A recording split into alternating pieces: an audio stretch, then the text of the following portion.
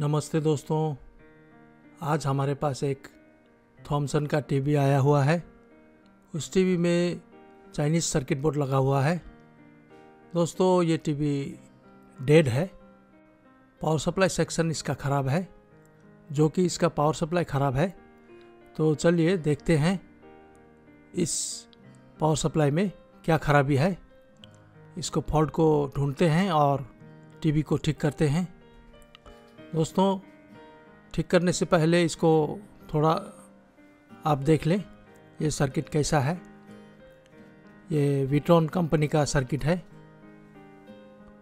तो दोस्तों, इस सर्किट में जो प्रॉब्लम हुआ है हम लोगों का, पावर सप्लाई ख़राब है। तो चलिए, इस पावर सप्लाई को हम ठीक करते हैं। दोस्तों, ये जो सर्किट है, ये सर्किट का पावर सप्लाई एसटीआर से बना हुआ है।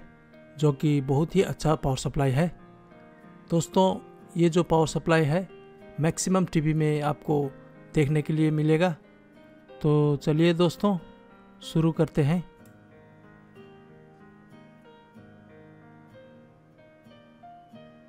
दोस्तों, मैंने मल्टीमीटर का नॉब को DC 200 पे सेट करके रखा है और ये जो ब्लैक कॉर्ड है, इसको ग्राउंड में लगा दिया है।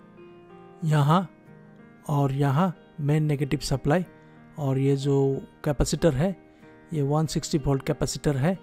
इस कैपेसिटर में हम लोगों को सबसे पहले नेगेटिव और पॉजिटिव वोल्टेज चेक करना है। यहाँ हमको 110 वोल्ट का आसपास मिलेगा।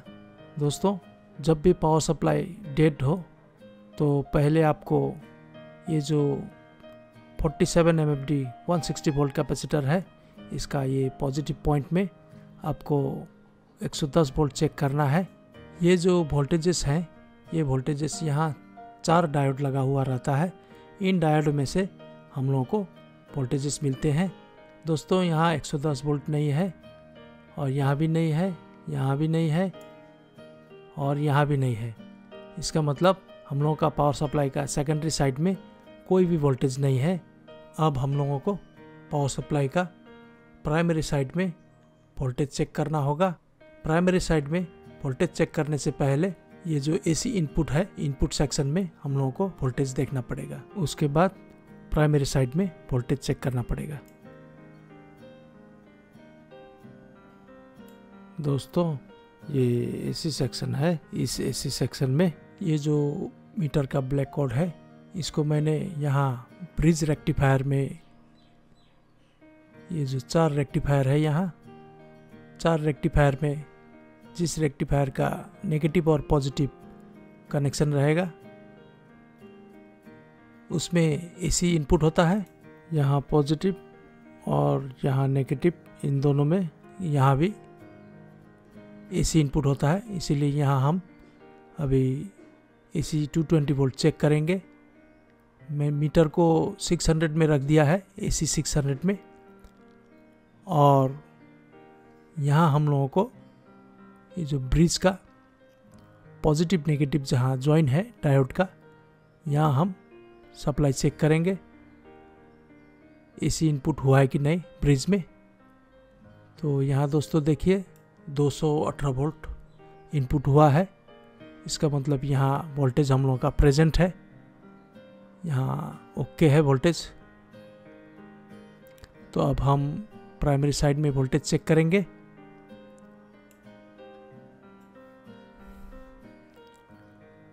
दोस्तों, ये जो पावर सप्लाई का मेन फ़िल्टर कैपेसिटर है, इस कैपेसिटर का नेगेटिव पॉइंट में ये जो ब्लैक कॉर्ड है, इसको मैंने लगा दिया है। और मल्टीमीटर को DC 600 पे सेट करके रखा है। ये जो मेन कैपेसिटर है, इस कैपेसिटर का पॉजिटिव पॉइंट में हम लोगों को वोल्टेज चेक करना है। यहाँ दोस्तों 296 वोल्ट है तो यहाँ हम लोगों का वोल्टेज प्रेजेंट है। ये जो मेन सप्लाई है एसी से डीसी होकर यहाँ 296 वोल्ट मिल रहा है।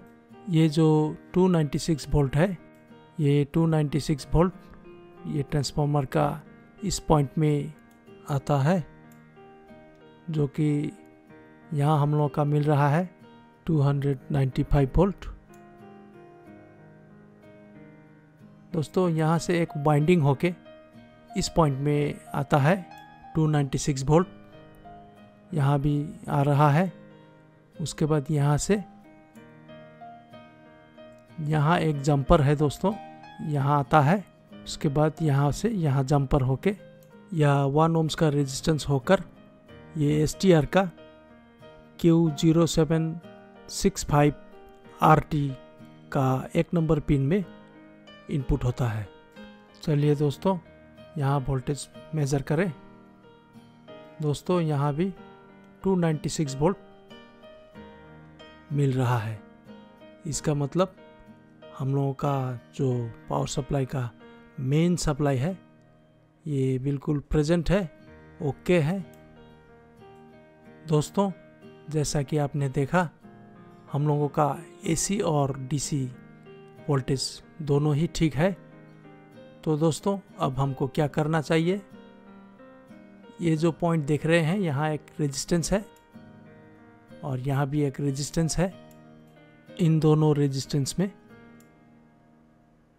यहाँ से जो वोल्टेज मिलता है, वो वोल्टेज मिल रहा है कि नहीं? रेजिस्टेंस का इस पॉइंट में वोल्टेज आ रहा है। रेजिस्टेंस के इस पार वोल्टेज यहाँ भी वोल्टेज है 264 और इस रेजिस्टेंस में भी वोल्टेज है 265 अब रेजिस्टेंस के इस पार वोल्टेज देखते हैं। दोस्तों, ये जो पॉइंट है, ये इम्पोर्टेंट पॉइंट है। यहाँ 17 वोल्ट का आसपास मिलना चाहिए दोस्तों। यहाँ नहीं है वोल्टेज दोस्तों, इस पॉइंट में वोल्टेज मिलना चाहिए, जो कि नहीं मिल रहा है। दोस्तों, हम लोगों का ये वाला रेजिस्टेंस कट गया है। चलिए दोस्तों इस रेजिस्टेंस को चेंज करके देखते हैं।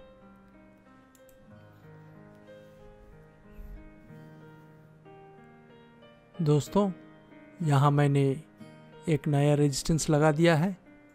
इस रेजिस्टेंस का वैल्यू 120 के है और ये हाफ़ वाट का है। लेकिन यहाँ मैंने क्वार्टर वाट का 120 के रेजिस्टेंस लगाया है। दोस्तों, ये जो क्वार्टर वाट का रेजिस्टेंस है, ये रेजिस्टेंस उतना ही काम करेगा जितना हाफ़ वाट का रेजिस्टेंस काम करता है। इसमें कोई प्रॉब्लम वाली बात नहीं है। ये जो देख रहे हैं दोस्तों, यहाँ दोनों रेजिस्टेंस सेम वाट का रहता है हाफ़ वाट का, लेकिन यहाँ मैंने क्वार्टर वाट का रेजिस्टेंस लगाया है।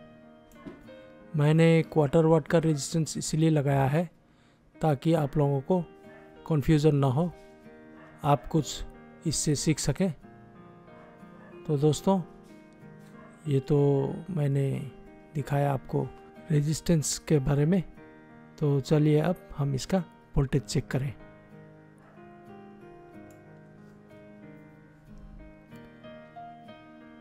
दोस्तों, ये जो रेजिस्टेंस है ये रेजिस्टेंस ख़राब हुआ था और यहाँ वोल्टेज मिसिंग था। ये मीटर का नॉब को मैंने 200 में रखा है और इसको ये कैपेसिटर का पॉजिटिव पॉइंट में वोल्टेज चेक करेंगे। यहाँ वोल्टेज आ रहा है 291 ठीक है। तो यहाँ से यहाँ आएगा रेजिस्टेंस के थ्रू यहाँ भी ठीक है 148 वोल्ट आ रहा है। और यहाँ से यहाँ ये एक ही ट्रैक है, फिर भी हम, मैं दिखाता हूँ। 149 आ रहा है। ये जो रेजिस्टेंस है, ये रेजिस्टेंस का वोल्टेज मिसिंग था। यहाँ वोल्टेज आ रहा है कि नहीं, इसको देखेंगे। दोस्तों, अब ये वोल्टेज आने लगा। मल्टीमीटर का नॉब को एक बार डी सी ट्वेंटी में रख के भी आप वोल्टेज को देख लें एक बार। तभी आपको एक्यूरेट मिलेगा। ये जो 16.8 वोल्ट है, ये एकदम करेक्ट वोल्टेज है। यहाँ इतना ही आना चाहिए। तो दोस्तों, ये जो रेजिस्टेंस था, अभी हम लोगों का सप्लाई देने लगा।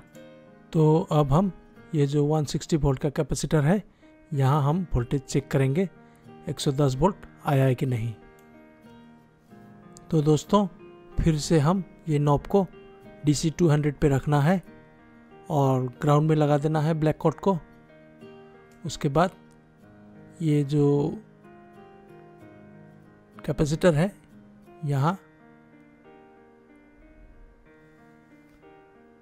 ग्राउंड मिलता है और यहाँ आपका पॉजिटिव डीसी वन टेन का आसपास मिलता है, जो कि यहाँ 105 वोल्ट दिखा रहा है। इसका मतलब यहाँ सप्लाई अभी आ रहा है। ये पावर सप्लाई ओके हो गया है। तो यहाँ देखना है इस रेजिस्टेंस के पॉइंट पे। ये जो फ्यूजेबल रेजिस्टेंस है वन ओम्स का, यहाँ हमको देखना है वन वाट का रेजिस्टेंस रहता है। उसका बाद ये जो ई e में जाता है, यहाँ भी हम लोगों का 105 वोल्ट आ रहा है और ये जो कलेक्टर में आता है ई e का, यहाँ हमको वोल्टेज नहीं देखना है, क्योंकि यहाँ हाई वोल्टेज रहता है मीटर ख़राब हो सकता है आपका।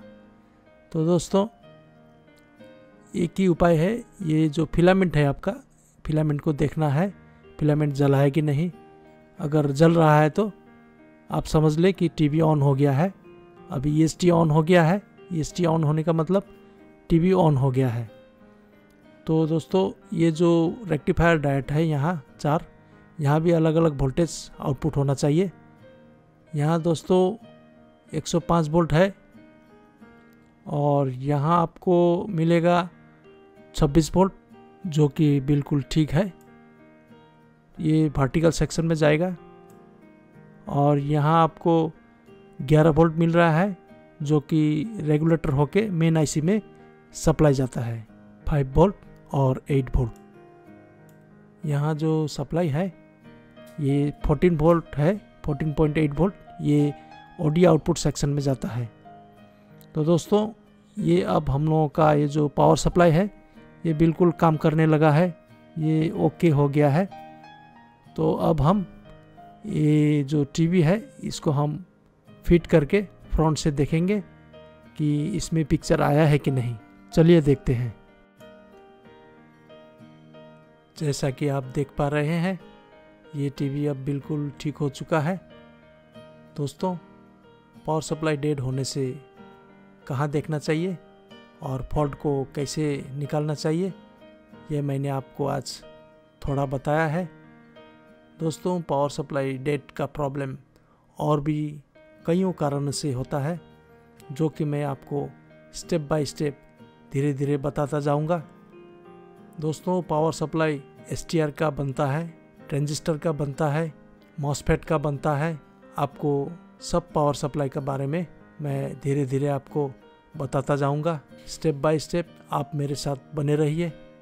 तो दोस्तों, ये वीडियो आपको कैसा लगा? लाइक कीजिएगा सब्सक्राइब कीजिएगा। हो सके तो एक कमेंट भी दीजिएगा। धन्यवाद दोस्तों।